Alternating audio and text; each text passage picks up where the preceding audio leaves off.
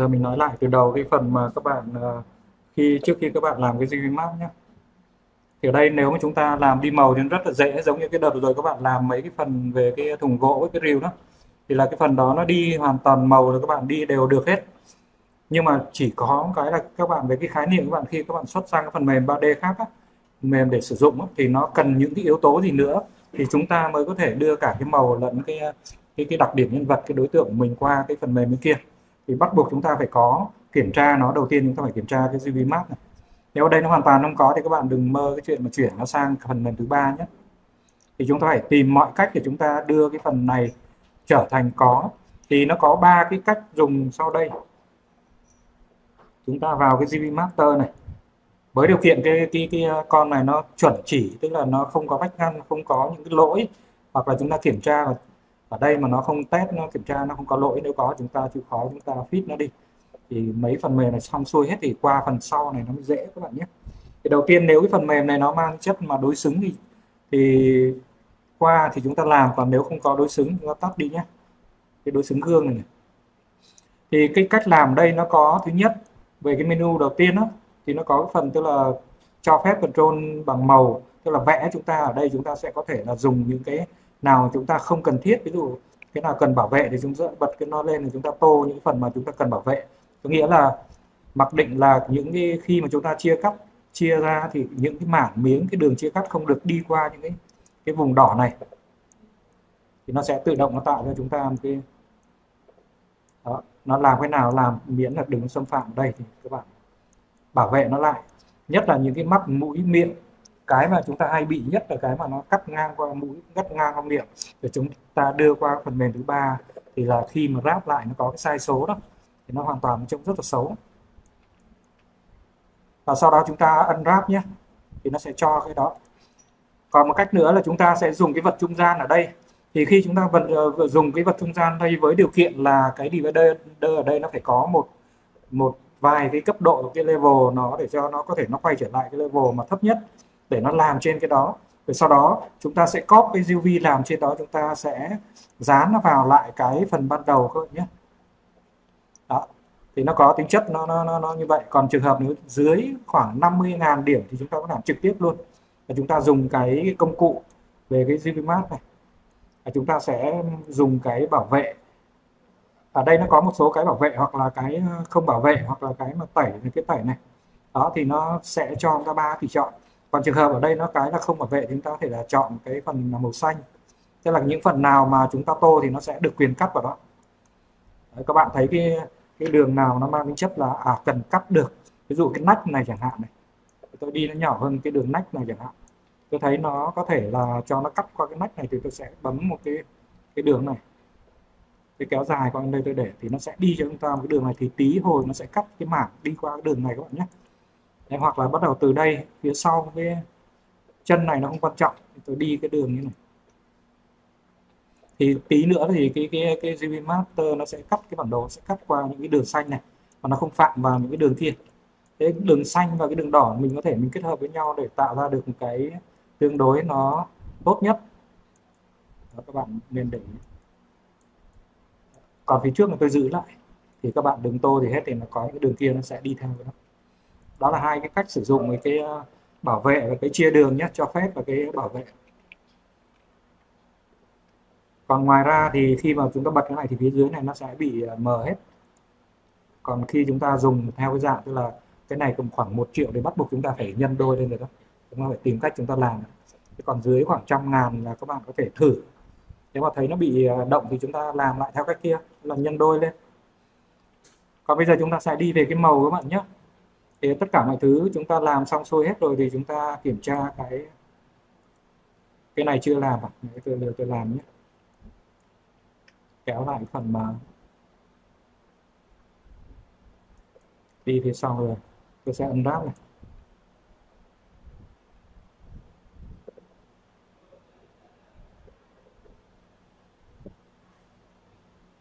Bởi vì khi chúng ta làm cái ờ, GV map ờ, trước ấy, thì khi chúng ta đi màu thì cái phần GVMAT không bao giờ thay đổi.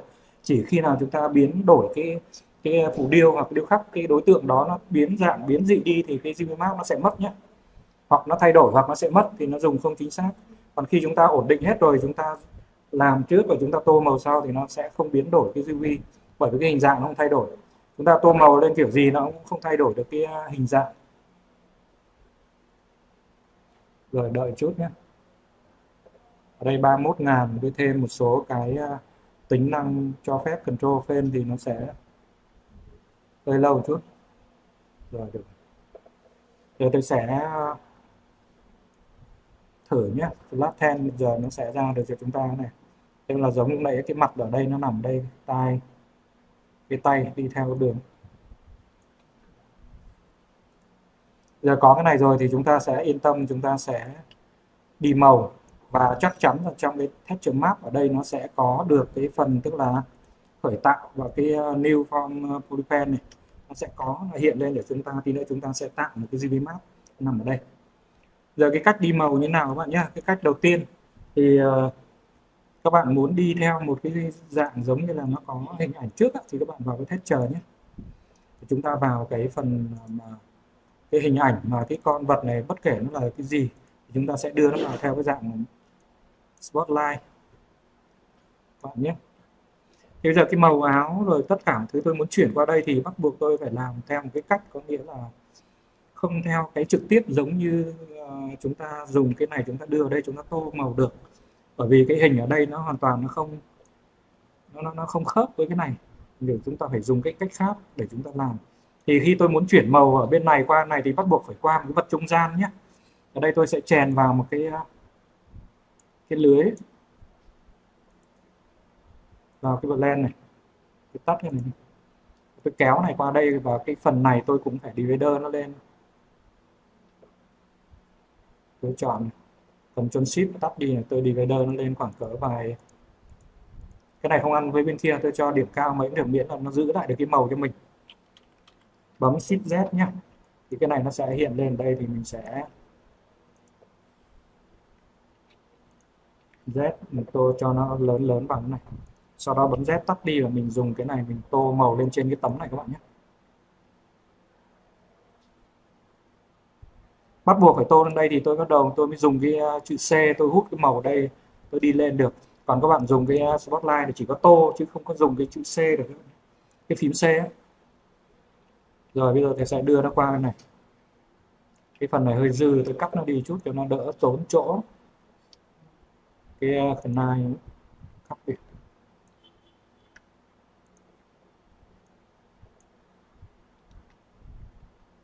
Điểm cao quá cho nên cái này nó cắt không được để mình dùng cái uh, chim.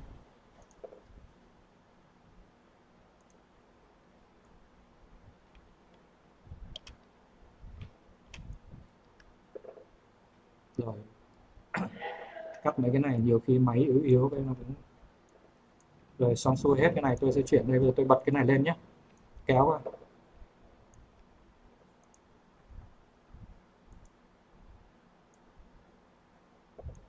thì bây giờ các bạn sẽ tô màu bằng cách gì? Thứ nhất, tôi muốn mua tô màu cái quần này. Thì các bạn bấm đây bấm chữ C các bạn nhé.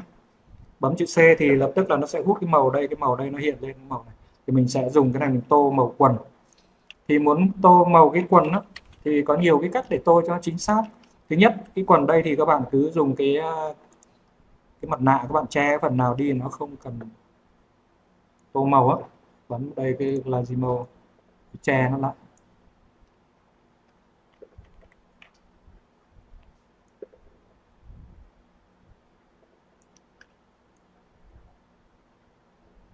Cái này thì các bạn mà kéo đây thì cả phần sau nó cũng mất luôn, thì mình sẽ dùng cái ờ, cái freehand nhé.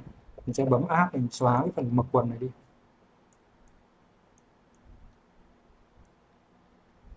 Mình tắt cái light mode lên tôi đi cho nó dễ.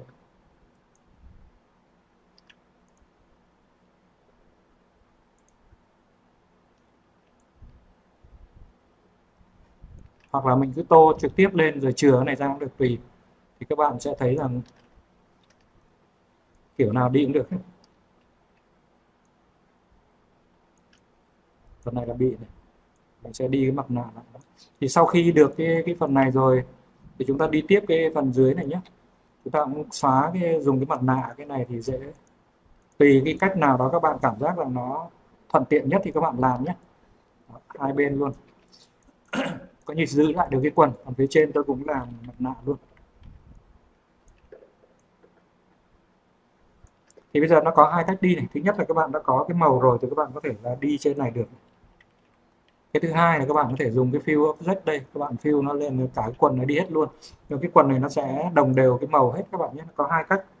Thứ nhất là fill cái thứ hai là dùng cái pen. Là cái cái bút màu đi cọ chúng ta sơn luôn. Còn cách thứ hai nữa, các bạn thấy rằng nó thêm cái nữa là đây nó có cái màu sáng này.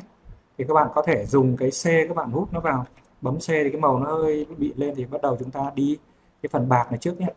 Đó, các bạn có thể bấm vào đây. Còn cái này các bạn muốn cho đi mềm hơn nữa mà nó không có tính chất, nó xóa đi, các bạn kéo cái phần intensity này xuống chút này. chúng ta có thể đi cái màu nó lên trên, nó nhạt hơn. Thì ở đây chúng ta sẽ có nhiều cái sắc độ để cho chúng ta làm thì nó sẽ, cái màu nó sẽ trung thực hơn vào hoặc là cái quần jean xanh nó chỉ có những cái đầu trắng ở đây thì các bạn có thể lấy thêm cái một trắng ở đây các bạn đi vào cái phần là bị sờn màu đó. đó. Và các bạn kéo cái này xuống một chút còn kéo lên thì nó sẽ bị sắc nét. Còn nếu chúng ta kéo cái này nó nó nhỏ hơn thì cái phần biên của nó sẽ mềm đi. Các bạn thấy biên nó mềm còn nếu chúng ta càng kéo lên cao thì sắc độ sắc nó sẽ càng nhiều. Đấy, như vậy các bạn có thể là dùng những cái cách này. Đi cái màu chính fill màu chính sau đó mình sẽ dùng những cái màu phụ mình đi lại để cho nó có cái độ mà trung thực hơn màu. À, tương tự như vậy thì mình có thể dùng cái màu vàng nhé. Ví dụ cái màu vàng đây thì chúng ta cũng có thể là control bấm kích để cho nó invert lại sau đó chúng ta sẽ che đi cái phần giày này tôi giữ lại phần áo thôi. Áo là cái phần tay của nó cái này thì tôi che phần đầu đi luôn vào. Cái bàn tay đi luôn này đó có nghĩa là còn phần này, nhưng mà cái phần áo di lê, cái khoác bên ngoài cần, thì bắt buộc tôi phải che cái phần đó đi. Thì hai phần này nếu mà giống nhau thì các bạn có thể là bật cái cái này lên và chúng ta sẽ đi theo hai bên, theo cái trục x không thì các bạn sẽ dùng cái cái draw size này, các bạn bỏ bỏ nhỏ xuống, các bạn đi thôi. Thì tôi sẽ dùng cái áo vàng nhé. Cái áo đây tôi bấm vào đây tôi tìm cái mảng này nó sáng nhất tôi bấm vị C này, thì cái màu nó sẽ chọn cho chúng ta y màu đây. Nếu các bạn mà che đầy đủ hết rồi thì các bạn có thể fill nó vào ngay trong cái cái áo. Sau đó tôi sẽ đi lại cái áo này sau bằng cái áo màu vàng. Từ cái áo di lê nó màu vàng này, bấm C này. Tôi sẽ đi lại cái cái áo này chẳng hạn, ví dụ ngoài cái này ra chúng ta có thể đi thẳng che, chắn hoặc cái gì đó tùy các bạn. Bật này lên nó không đối xứng được hai bên, do cái này không không chuyển được nó về cái cái tọa độ chính. Lấy tôi kéo nó qua rồi. Thành thử ra nó lệch qua cái tọa độ chính của cái này, thành thử nó sẽ không đối xứng các bạn nhé. Vậy hai, cái này là một. Bây giờ nếu muốn đối xứng thì tôi sẽ bấm cái này lên và tôi xả mặt nạ và tôi sẽ đưa này về cái chính tôi đưa cái này ra này. Đưa cái con này qua bên này. Bây giờ mới vào tọa độ thì chúng ta bật cái này lên thì nó mới chính xác hai bên. Bây giờ chúng ta cứ tô nào thì chúng ta bấm vào đây thôi, bấm nó chia để lấy hai bên như vậy bên đối xứng.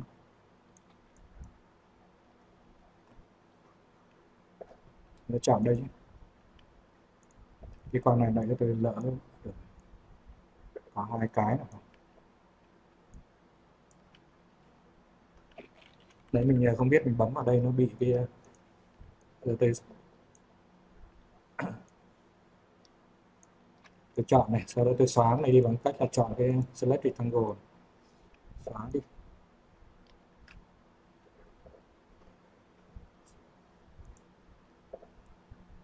Chưa bây giờ tôi phải tắt cái này đi đã.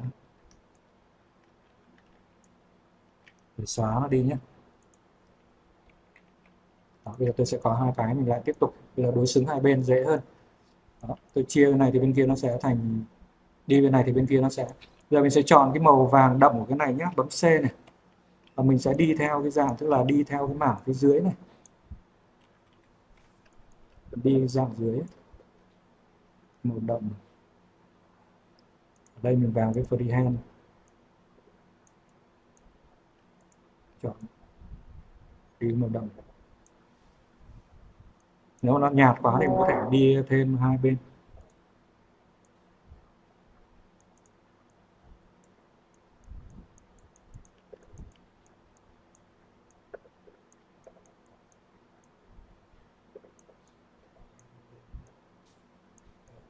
Có rất nhiều cách các bạn nhé.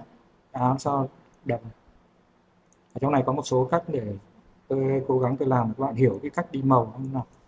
Đấy, bây giờ là còn lại cái găng tay chẳng hạn thì rất là dễ mà. Găng tay tôi bấm cái cần bấm phần bên này thì bên kia nó cũng sẽ chọn luôn invert lại. Thì giờ tôi chọn cái găng tay một màu màu xanh tôi bấm C nhé. Bấm C rồi rồi tôi sẽ fill nó vào màu. Và cái phần đậm của nó thì các bạn chọn thì các bạn tô lại đây phần đậm nó đây bạn cho đây đậm chút. Ảnh hơi bị lạc. Cái phần bàn tay. Vâng. Chúng ta đẩy cái này lên ờ, trăm trăm để đi cái màu nó chính xác. Vẫn ít quá. Mà đậm thử.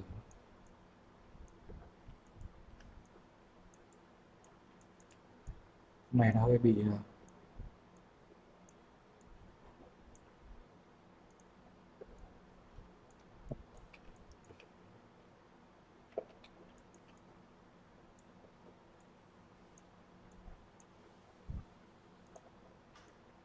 là chưa đi được màu.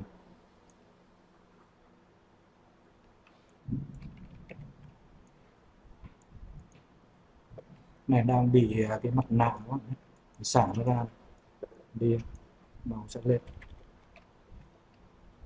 Đây cái, cái phần phía phía tay này mình sẽ cho đi theo cái dạng dạng mình cho nó mờ chút thì nó sẽ ăn hơn vào.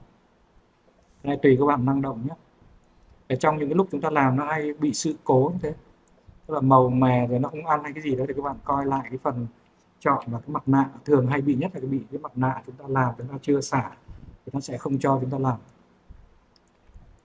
Và thậm chí ngay trong lúc này, ví dụ chúng ta muốn cho cái màu này liền nhau, chúng ta bấm vào đây, chúng ta bấm C thì nó cũng sẽ ăn vào cái màu ngay trên cái vật này ngay các bạn nhé. C này. Ví dụ các bạn muốn bấm cái à, cái cái phần trắng này xuống dưới chút thì các bạn bà bỏ trắng, bạn bấm C thì chúng chúng ta xuống dưới nó cũng sẽ ăn luôn. Thì ngoài cái phần này là cái cái màu chính, còn phần này chúng ta muốn đi cho nó đều hay cái gì chúng ta có thể lấy màu ngay trên này được nhé. Còn cái đầu này, cái đầu là đen là cái phần mắt và cái tai cả thì ở đây chúng ta bật đôi lên cái phần đen nó thì các bạn có thể, thứ nhất là chúng ta chọn cái mặt nạ ở trên này, sau đó xả cái mặt nạ này đi xem cái mũ màu gì đó. mũ màu xanh ta bấm này.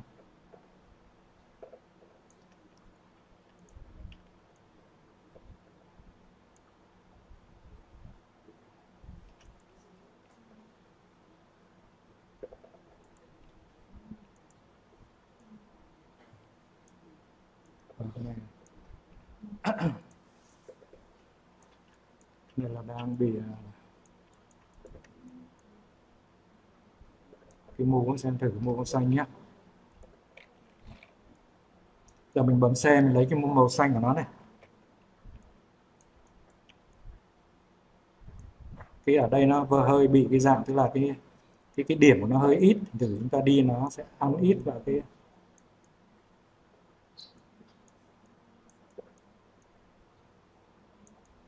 các bạn cứ dùng những cái màu sau đó chúng ta đi lại những cái phần trắng hoặc cái gì đó, ví dụ đang này chúng ta thể lấy màu trắng chúng ta đi lại trước.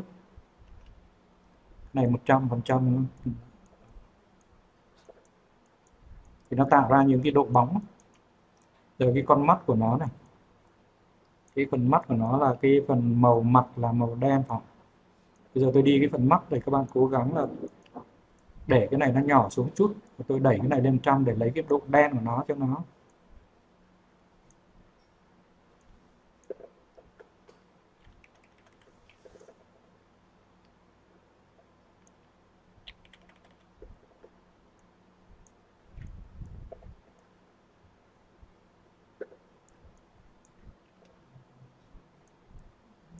Thì đây là các bạn có thể nhân nó lên được nhân đôi lên được divider lên thì cái cái cái, uh, cái UV nó vẫn còn các bạn nhé. Với trường hợp nếu tôi tô ở đây nó cái, cái cái, cái lưới nó không đủ thì các bạn để ý này cái cái, cái GMap khi chúng ta đã làm rồi á thì chúng ta có thể divider nó lên nó vẫn không mất đi các bạn nhé. Đấy, khi divider lên cái này nó không mất thì sau đó chúng ta chuyển lại nên nó không bị vấn đề gì. Còn đây tôi sẽ bỏ cái, cái Lazimo tôi kéo cho nó ngọt một chút đấy các bạn sẽ bấm vào đây các bạn kéo này thì có cái lưới đây thì các bạn sẽ đi theo được cái độ tròn. Đó. Ngoài ra cái mắt đen là còn cái gì nữa mà hai cái tai cũng đen và cái đai mũ nó cũng đen. Bạn có thể là bấm vào đây.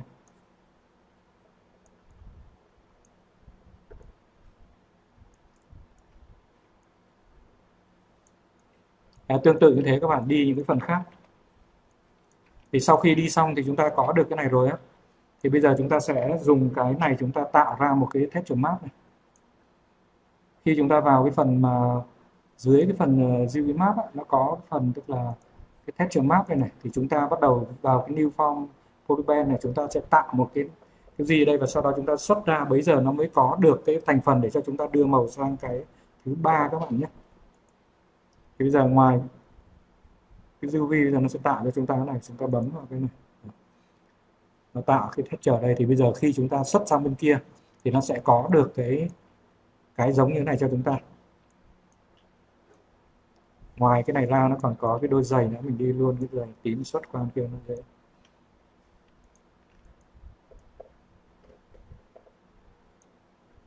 Đây, cái này mình đưa đưa đẩy lên, thêm tìm trăm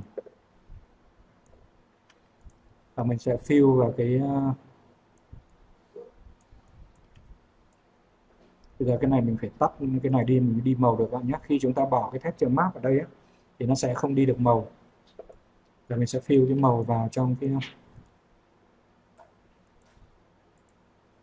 lấy cái này nó là màu vàng này đúng không? C nhé tạo này bây giờ mình sẽ fill màu vào cái, cái đôi giày. Ở đây chúng ta đang thì sau đó chúng ta bấm vào cái ờ, xe màu sậm hơn một chút.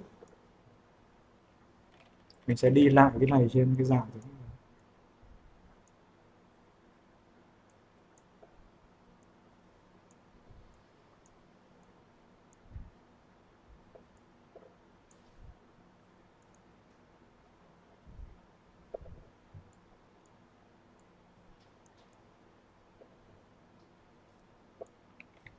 cái giống ví dụ này. sau đó tôi tắt cái cái phần màu đi này. Giờ mình sẽ làm cái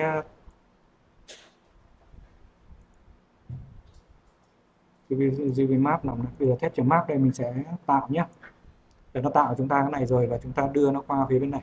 Để bây giờ chúng ta sẽ xuất nó qua sang file bên kia nhé chúng ta export này. Và các bạn đã nhớ lần trước tôi đưa các bạn là hai cái cách. Là một là dùng cái FBX hai dùng cái aubergine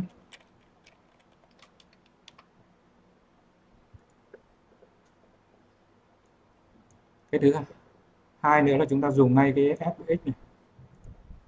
Vào cái gì và login các bạn nhé. Có cái phần fx nằm trên nền đề. Đây tôi dùng cái này tôi export ra. Ở đây thì các bạn vào cái phần đặt cái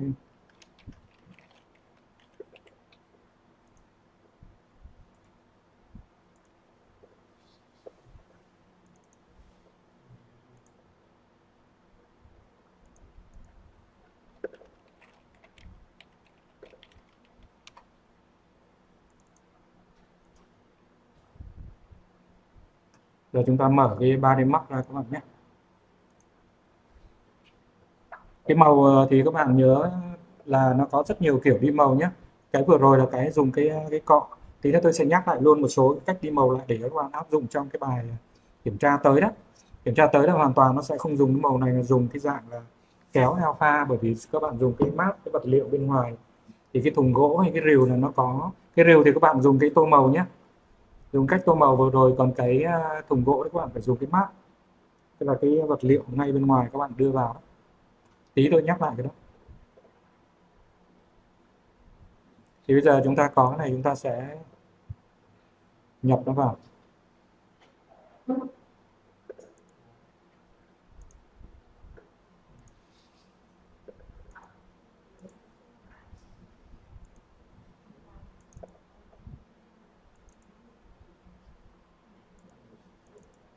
Đây cái vừa nhập uh, lúc nãy đây nhé có cái fbx đây nhập thử cái fbx vô trước nhé thì uh, bây giờ tôi đã có một cái cái cái cái cái, cái, cái con thú mà nó có tính chất tức là màu giống như ở bên kia nhé thì uh, các bạn sẽ làm hoạt hình hoặc là làm cái gì đó là tùy trên cái này cơ sở.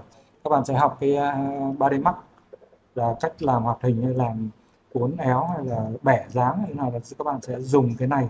Cái này nó đủ điều kiện để cho các bạn dùng này. Đấy, các bạn bên này thì nó di chuyển hoàn toàn ngược với ZBrush có nghĩa là xoay thì các bạn phải bấm giữa chuột giữa và bấm phím Alt nó mới xoay còn di chuyển thì các bạn phải bấm phím chuột giữa các bạn xoay. Hai bên này nó có tính chất nó khác nhau các bạn nhé. Cái Maza thì nó càng khác nữa. May là các bạn học Maza hơi phức tạp. À, cách à, mình thử nhập cái OG vô nhá.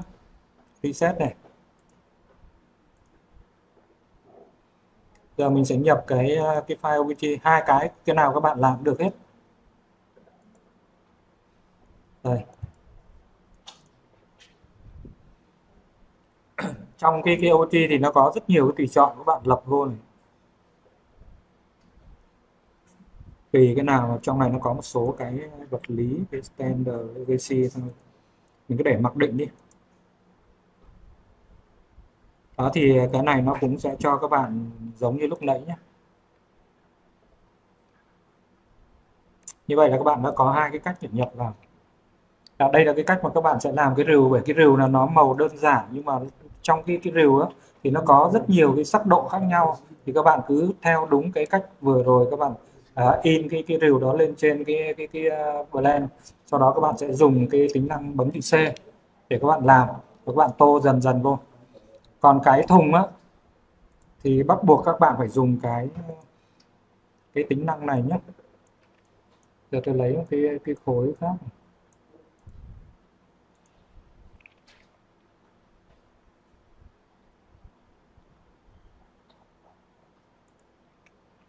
Thì các bạn không dùng cái tô màu được.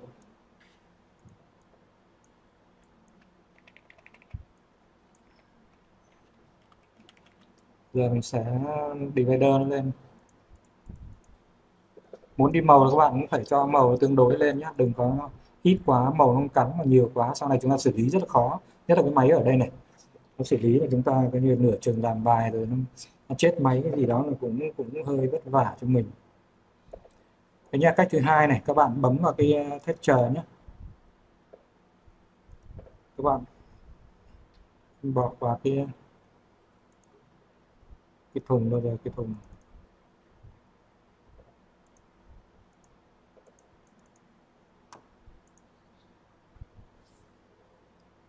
Cái ảnh với trước làm nhiều xóa hết rồi. Lấy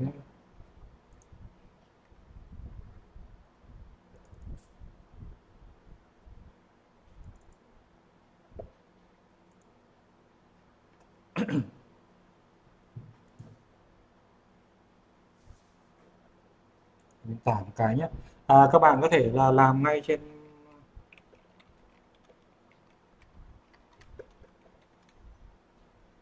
tìm ngay những cái phần nào nó có tính chất nó trên mạng các bạn thích thì các bạn tải nó về. Các bạn vào vị mê hình ảnh. Chọn à, thêm cái à, cái dạng công cụ nó thì các bạn chọn cái phần à,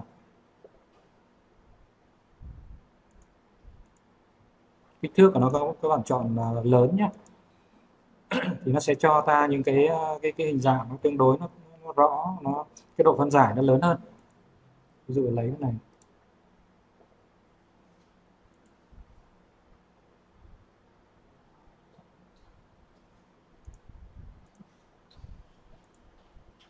Ở đây mình sẽ chọn cái à, cái đó.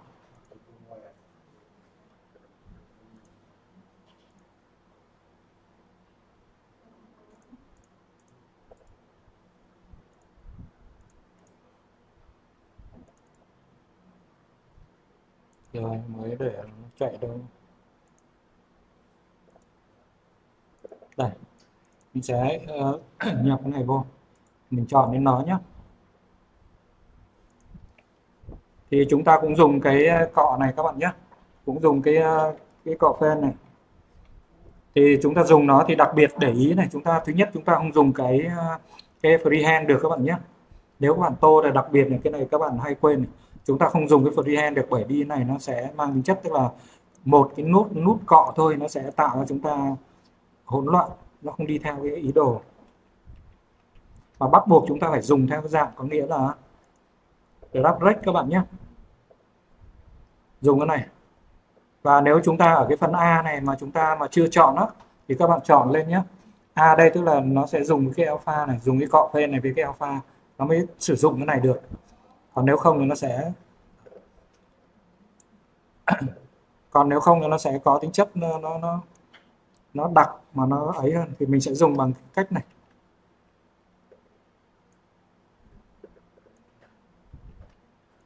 Còn trường hợp mà nếu dùng cái này nó bị mờ ở hai bên đầu nó mờ theo cái dạng tròn thì các bạn thay cái alpha bằng cái cái hình vuông nhé. Thì nó sẽ kéo lên nó, nó tương đối nó rõ phần trong ta.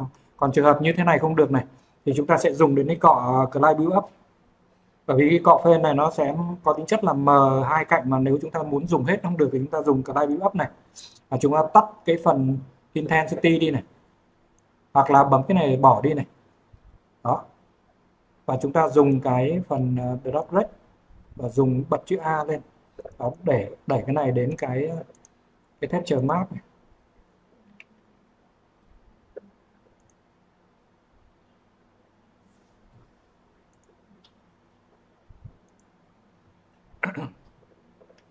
Đây chúng ta sẽ chọn đến cái cái gỗ mà giống như bữa trước chúng ta làm. Cái này là bị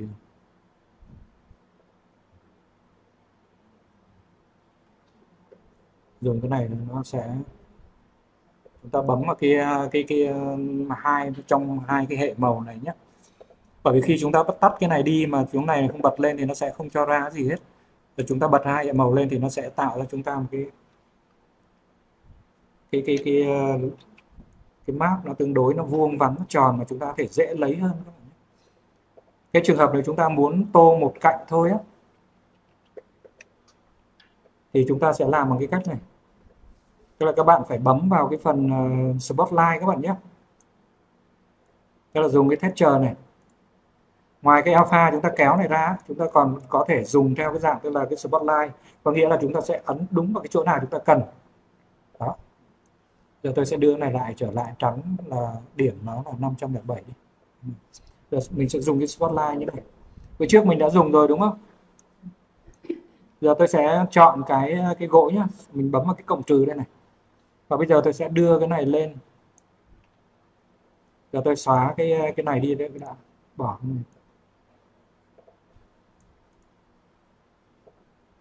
cái số line nào các bạn cần, các bạn lôi nó ra nhé để ở giữa này lôi ra này sau muốn xóa các bạn bấm dấu chéo này tắt. Sau đó sẽ lôi cái này thôi giờ các bạn muốn làm một cái dạng giống như là cái cái tấm gỗ này theo theo cái dạng giống này thì các bạn sẽ bấm chữ Z này, sau đó các bạn tô theo từng miếng một nhé. Bạn để đúng vị trí của nó, các bạn sẽ tô. Bấm Z này, bật vào cái cái cái ờ, kết đôi vào giữ cái này lại sau đó chúng ta bấm Z tắt đi để có được cái chúng ta bỏ cái này thành cái ờ, freehand các bạn nhé. Cái alpha. Và chúng ta sẽ tô thì nó sẽ ra được cái màu mà các bạn muốn nhé. Theo đúng cái vị trí của nó. Các bạn có thể là dịch qua dịch lại hoặc thu lại.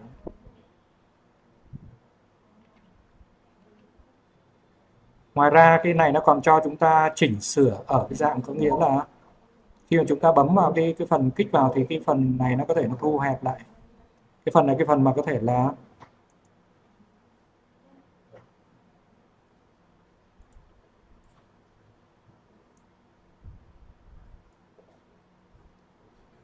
phần này thu hẹp hai phía. Có cái phần nằm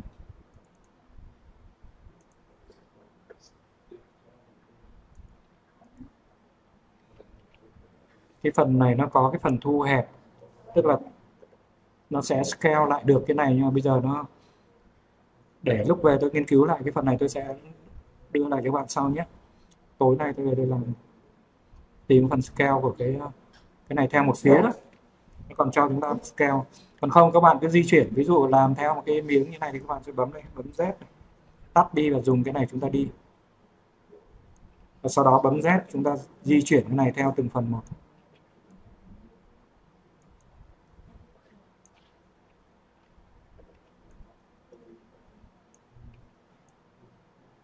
Các bạn nhớ làm cái thùng như vào.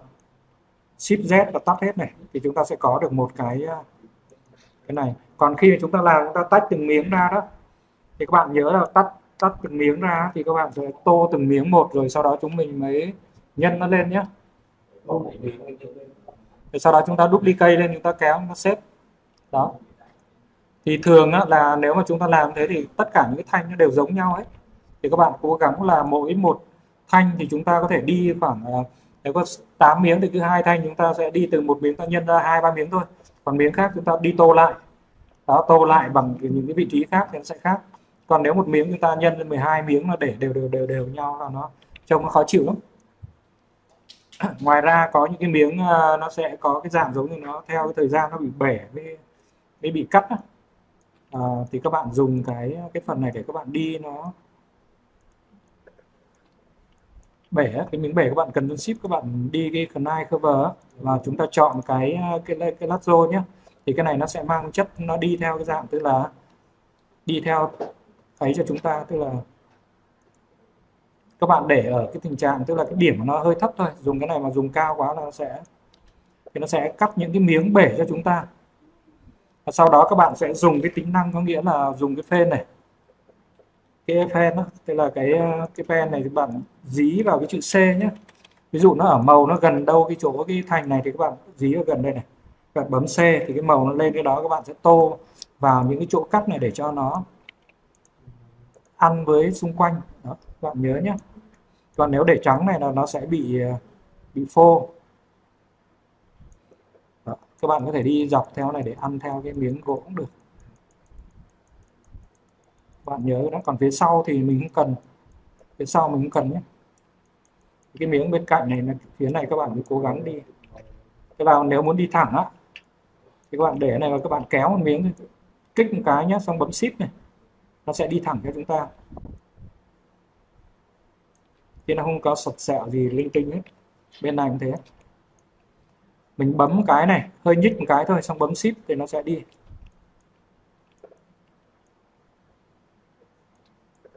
À, mình có thể tô bởi khi mình cắt nó sẽ lòi những cái trắng ra. Những cái điểm mà mang chất đấy. Ngoài ra nó có một cái ờ, công cụ nữa thì các bạn nhớ là cái phần cái chim dynamic này hoặc là chim adapt này thì nó sẽ đi vạt những cái miếng này cho chúng ta một cách nó để ta bám bấm vào đây nhé. Bạn sẽ thấy nó đi những cái miếng này rồi tạo được những cái phần tức là bị bể đó. Tức là cái miếng nó bị mòn đi đó. Các bạn thấy tắt cái ờ, cái cái màu đi nhé các bạn sẽ thấy là cái mờ cái cái đường này nó đi cho chúng ta những cái miếng tức là không sắc. Bởi vì gỗ không bao giờ nó có cái đoạn lâu dài nó bị mẻ những cái, cái cạnh nó bị mòn đi chúng ta dùng một trong hai cái này. Đó cái này thì hơi mạnh hơn không? Khi có những cái miếng mẻ mà có những cái đoạn mà bị ờ, móc méo thì bạn dùng này thì nó sẽ tự nhiên hơn. Đó các bạn sẽ thấy cái cạnh nó đi theo cái dạng tức là nó bể từng miếng miếng theo cái thời gian nó đã không không những nó chia thành miếng mà còn bị bể theo cái cạnh nữa. Nhất là những cái cạnh xung quanh này.